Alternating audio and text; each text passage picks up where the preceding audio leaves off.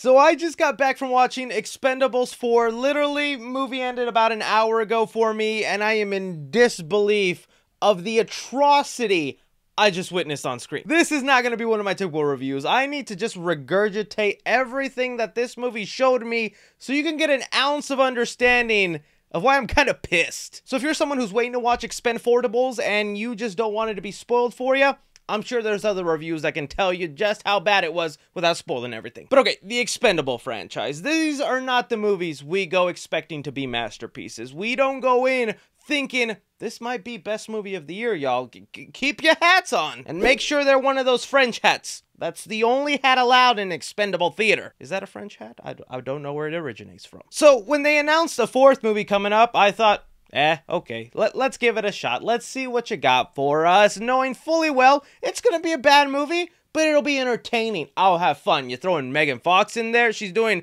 these sexy fight scenes with Jason Statham. Okay, let's see that. Sylvester Stallone, charismatic guy. He's always just a little bit of fun to watch either way. And then there's always them random cameos of assorted, well-known people that you would hope are old action stars, but fourth film in the franchise, we're now going to hip hop artist 50 Cent. I do respect you, 50 Cent. I'll take you to the candy shop. and as of me filming this, it's a Sunday night, so the movie came out a couple days ago, and I was hearing from all my other movie peeps out there, this film is terrible, that it is awful. It's possibly one of the worst movies of the year, and I was like, weren't we kind of expecting it to be bad? What levels did they stoop down to to a film you're already expecting to be meh turn out to be really, really bad. Well, let me just begin listing off for you. For one, where did the budget go for this movie? I'm not kidding. We need to get some accountants in the room of how this movie was made because there is no way every cent and budget of this film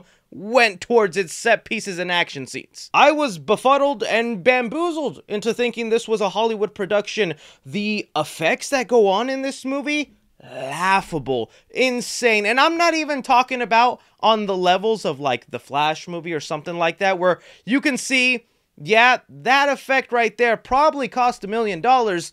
Doesn't look great, but you know it cost a million dollars.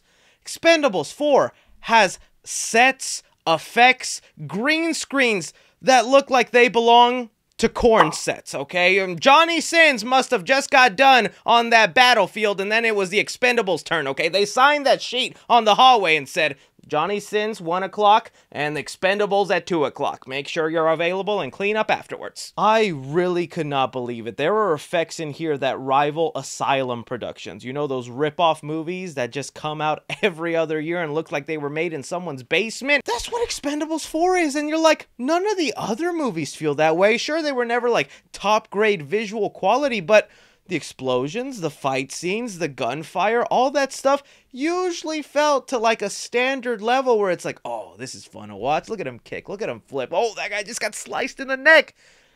All of that out the window here. And really, the entire production feels that way. It's even more jarring seeing people I respect in this movie just be part of this. Like Jason Statham, like I maybe you're good buddies with Sylvester Stallone, and I bet you Sylvester loves these movies because, like I said, it's an excuse to wear that lovely French hat.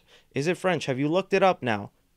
I need to know. But the dialogue is horrible. The punchlines and jokes set up here, all of them fall flat. You honestly get like secondhand embarrassment watching this movie, realizing that was supposed to be a gag. Uh, that was supposed to be a joke. Oh, they even left a space of silence in there hoping the audience was laughing and I'm like one of the only five people here. And again, I know we don't expect that much from the Expendable franchise, but the previous three movies did not feel this way at all. It did not feel like it was an amateur fan film. I always admire the premise and the idea of the Expendable films. Who cares about these group of mercenaries that have to go on random missions? The whole idea was remember these old action stars that each had their own movie and were iconic and famous at one point? Maybe it's a little too late, but we're gonna group them up like they were the Avengers and just have fun with them. And that's really what it was. It was like, oh, look, Arnold standing next to Sylvester. Oh, they got Jet Li in there now. Oh, freaking Chuck Norris shows up. Who else is to be in there? Jackie Chan? It was almost like a low key Hall of Fame for action stars. And that was just the fun you needed to have. 30 minutes into this movie, they blow it.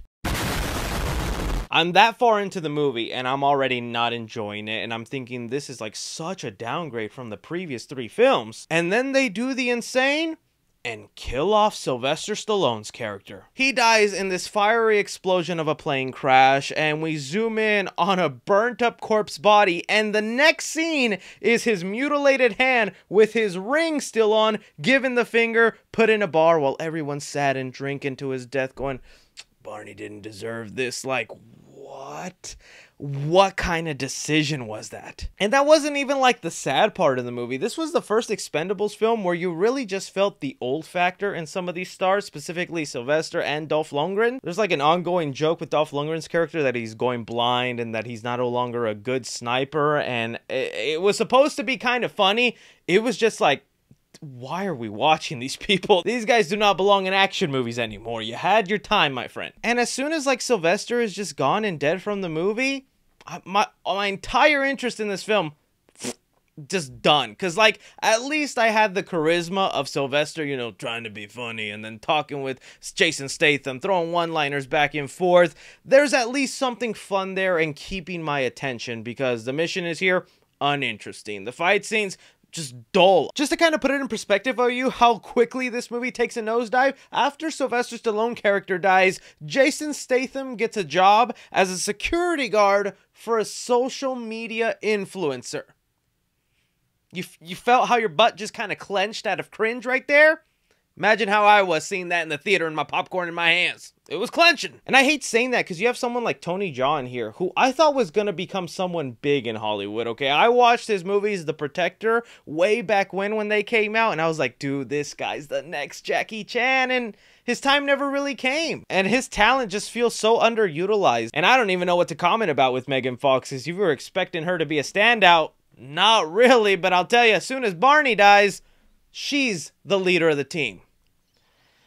This is your first movie in, Megan Fox. You have not proven to us why you should lead the legendary team of the Expendables. I was so dreading it. If this wasn't my job, guys, I kid you not, I would have walked out like 10 to 15 minutes after Sylvester Stallone dying because it just did not hold my attention. And you would think Jason Statham would be good enough on his own, but again, Jason Statham's talents are being wasted here, man. Go back to another Transporter or another Crank movie, my friend. So really, I'm just sitting there in the theater trying to enjoy my popcorn, thinking about other things I have to do throughout the week because I'm just not invested in the movie at this point. And oh, they get you. They throw a little twist your way. Whoa! By the end of the film, when they're wrapping up with the mission, that I didn't even bother explaining to you what it was, because do you can you remember what the missions were for the last three movies? No.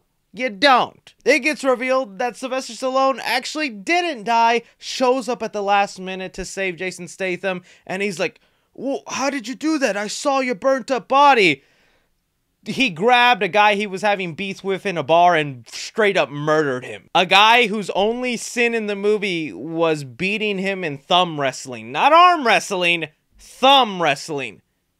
He deserved a crispy burning death for that.